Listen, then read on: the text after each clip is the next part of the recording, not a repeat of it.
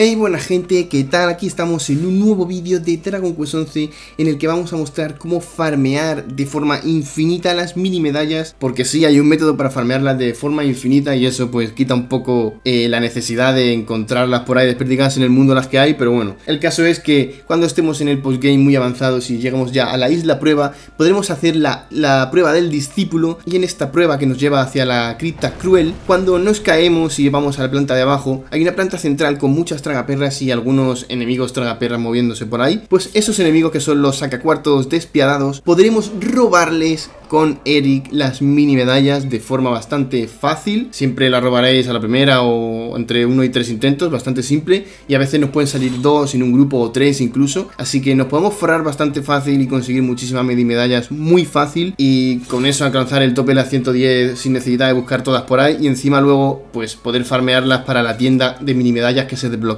al, tener todo el álbum de mini medallas completo. Así que bueno, como veis con esto ya la necesidad de eso, de buscar todas las minidades por ahí se pierde un poco, pero bueno, es lo que hay, lo han hecho así, así que yo lo muestro. Así que bueno, gente, espero que este vídeo os haya servido. Si es así, ya sabéis que podéis apoyarlo con un like y suscribiendo si no lo estáis ya. Como siempre, también sabéis que en la descripción dejo mi Twitter por si queréis seguirme por ahí y varios links por si queréis apoyar al canal. Eso es todo, hasta la próxima.